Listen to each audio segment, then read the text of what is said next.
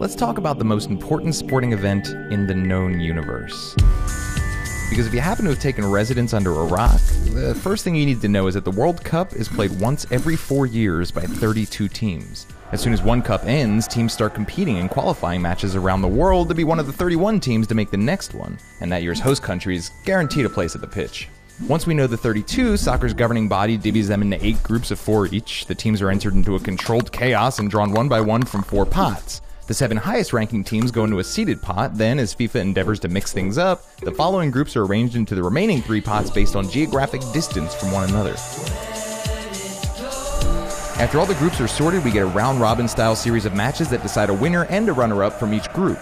Each team plays every other team once, and the two teams with the highest points at the end of group play move on to the round of 16. From here, it's simple, working much like the basic bracketology you're probably already used to. Each winning team competes against a runner up team from a different group, which narrows the teams down to eight in the quarterfinals, four in the semis, and then the top two teams compete for the one solid gold cup to rule them all.